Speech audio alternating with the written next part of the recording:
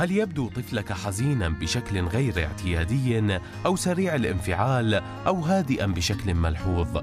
الشعور بالإحباط والضيق خاصة في زمن الإغلاق الكبير بسبب جائحة كورونا أمر لا مفر منه لكن الاكتئاب أكثر من مجرد الشعور بالحزن أو قضاء أيام سيئة. فالطفل الذي يبدو إنه عالق في مزاج سلبي يشعر باليأس وعدم القدرة على الاستمتاع بأي شيء. قد يعاني من الاكتئاب وقد يحتاج إلى المساعدة للتعافي.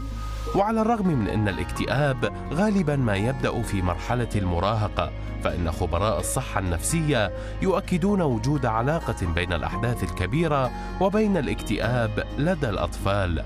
وهناك علامات مميزة ومحددة للاكتئاب لدى الأطفال وقد يكون من الضروري الانتباه لها وملاحظتها.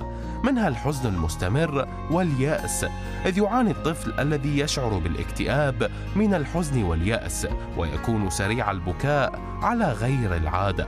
ومن علامات الاكتئاب أيضا فقدان الاهتمام بالأنشطة التي كان يستمتع بها في السابق والملل من أنشطته ورياضته المحببة. كما يصحب ذلك تغيرات في الوزن إذ قد تزداد الشهيه أو تنقص لدى معظم الأشخاص المصابين بالاكتئاب.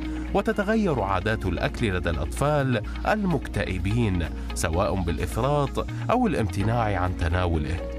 ويعاني الأطفال في حالة الاكتئاب من اضطرابات النوم حيث يواجه المكتئبون مشاكل أثناء الاستيقاظ أو الخلود إلى النوم باستمرار وكذلك التكاسل والتباطؤ. فيقل تفاعل الطفل مع الآخرين وتنخفض معدلات نشاطه أو لعبه.